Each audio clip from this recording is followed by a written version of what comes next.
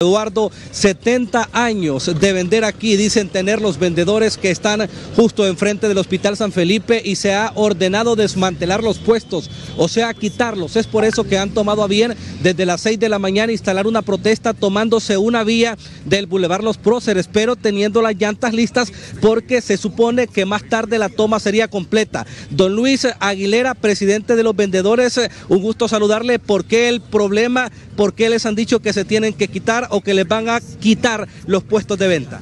Gracias, gracias a este hermoso canal y a Temastre este que han venido acá de nosotros. Gracias a Maldonado por estar acá llegando la voz a estas personas humildes, donde nosotros acá lo ganamos la vida. Se lo digo por yo, porque yo tengo un changarrito acá donde yo mantengo 11 familias, trabajan dos días cada, cada dos personas y es por eso que nosotros nos sentimos preocupados, donde antes yo me pelaba el pecho con la bandera flameándola y ahora me estoy pelando el pecho con los vendedores defendiéndolos acá, porque acá nosotros tenemos de estar, aquí son décadas, acá hay personas que aquí murieron ya, con como 70 años, aquí no había, aquí no había, aquí no había una gasolinera, aquí lo que había era una pulpería y después una bretería. Una viejita los dio para que nos pusiéramos en estas orillas, pero a los ancestros que ya murieron. Ahí eran unas zacateras atrás donde está, donde está Pai, donde está Diusa, y es por eso que nosotros tenemos, estamos desde el antaño acá, y es por eso que nosotros estamos defendiendo estos vendedores para que de acá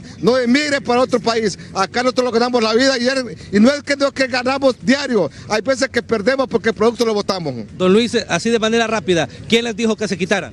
El señor alcalde, yo creo, el señor alcalde eh, bueno, aquí por parte de Uruguay Policía, un tal Metado Graviel, no sé cómo es el apellido, mandó una nota y yo fui perfecta, a mí me lo dijo presentemente, me dijo, nosotros vamos a limpiar todo como ya Tegucigalpa. Yo le respondí, si señor Aldana dijo, mientras no haya un mercado, no vamos a tocar un vendedor y entonces yo estoy tomando de la palabra a él, que esa palabra tiene que tener un respeto porque si no hay un mercado, ¿para dónde lo vamos a ir nosotros? Gracias, don Luis, Aguilera, y es que este es un problema para los que no conocen Tegucigalpa, las ventas ambulantes que se han instalado desde hace muchos años en ciertos puntos y que la corporación municipal al parecer tiene un plan de reordenamiento que permitiría pues dejar libre algunas villas que han sido ocupadas por ellos y a los que están enfrente del Hospital San Felipe les ha llegado el turno y les han ordenado desmantelar estos establecimientos de ventas. Protesta desde muy tempranito, tomada una vía, no todo el carril, una vía únicamente la derecha de ida